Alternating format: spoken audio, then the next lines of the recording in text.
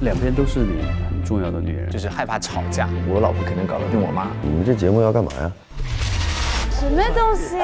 这很好的，好吗？九妹为什么不用这个呢？别收，别收。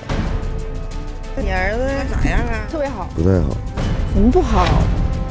妈。要不要配？不要配就也不能喝。啊，不行，弃权，这是个陷阱。